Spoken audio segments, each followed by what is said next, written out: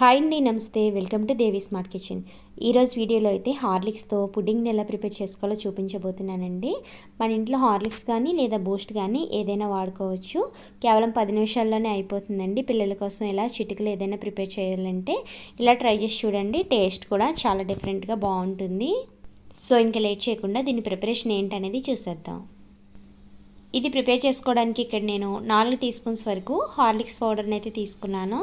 అదే క్వాంటిటీలో బెల్లం పొడిని కూడా తీసుకున్నానండి. ఇప్పుడు ఒక మిక్సీ జార్ తీసుకుని ఇందులోకి రెండు ఎగ్స్ని బ్రేక్ చేసుకుని వేసుకోవాలి. అలాగే మనం ప్రిపేర్ చేసి పెట్టుకున్న హార్లిక్స్ పౌడర్ని బెల్లం పొడిని ఇందులో వేసేసుకోవాలి. అలాగే ఇది నేను కొంచెం కలర్ఫుల్గా కనిపించడం కోసం వన్ టీ స్పూన్ వరకు కోకో పౌడర్ని వేస్తున్నానండి. చిటికర్ సాల్ట్ని కూడా యాడ్ చేసుకోవాలి. అలాగే మంచి ఫ్లేవర్ కోసం వన్ టీ స్పూన్ వరకు వెనీలా ఎసెన్స్ని ఒక అరకప్పు వరకు కాచి చల్లచిన పాలని వేసుకుని వీటన్నిటిని కూడా ఒక నిమిషం పాటు బాగా బ్లెండ్ చేసుకోవాలి. ఇలా బ్లెండ్ చేసుకున్న తర్వాత ఈ పుడ్డింగ్ని ప్రిపేర్ చేసుకోవడం కోసం ఇక్కడ నేను ఇంట్లో ఉన్న చిన్న చిన్న గిన్నెలను అయితే తీసుకున్నానండి. ఈ రెండు గిన్నెల్లో కూడా ఈ మిక్స్ని అయితే వేసేసుకుంటున్నాను. నేను తీసుకున్న క్వాంటిటీకి ఈ రెండు గిన్నెల్లోకి కరెక్ట్గా సరిపోయిందండి.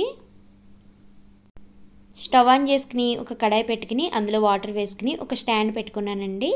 అలాగే మనం పెట్టుకునే గిన్నెలు బ్యాలెన్స్డ్గా ఉండడం కోసం ఒక ప్లేట్ని అయితే పెట్టుకున్నాను. ఈ ప్లేట్ పైన ఈ గిన్నెలను అయితే పెట్టేసుకున్నానండి. అలాగే ఈ బౌల్స్ మీద చిన్న చిన్న రెండు ప్లేట్లను కూడా వేసేసుకున్నాను. ఎందుకంటే ఈ ఆవిరి రూపంలో వచ్చిన వాటర్ మళ్ళీ ఈ బౌల్లోకి వెళ్ళిపోతుంది కదా సో అందుకని లోపల కూడా ఇలా చిన్న చిన్న ప్లేట్లను అయితే వేసుకోవాలి. ఇలా పైన ఒక మూత పెట్టేసుకుని ఒక పదిహేను నిమిషాల పాటు కుక్ చేసుకుంటే కనుక మనకి హార్లిక్స్ పుడ్డింగ్ అయితే రెడీ అయిపోతుందండి. ఇలా ఒక స్టిక్తో గుచ్చి చూస్తే కనుక ఇది పొడిగా వస్తే మనకి ఇది కుక్ అయిపోయినట్టే. సో ఇది మనకి కుక్ అయిపోయింది కాబట్టి ఇప్పుడు స్టవ్ ఆఫ్ చేసేసుకుని చల్లారనివ్వండి. ఇవి చిన్న చిన్న బౌల్స్లో వేసాను కాబట్టి డైరెక్ట్ వీటిని ఇలాగే సర్వ్ చేసేసుకోవచ్చు. ఒక అరగంట గంట పాటు ఫ్రిడ్జ్లో పెట్టుకుని తిన్నా కూడా టేస్ట్ అయితే చాలా చాలా బాగుంటుందండి. తప్పకుండా ట్రై చేయండి.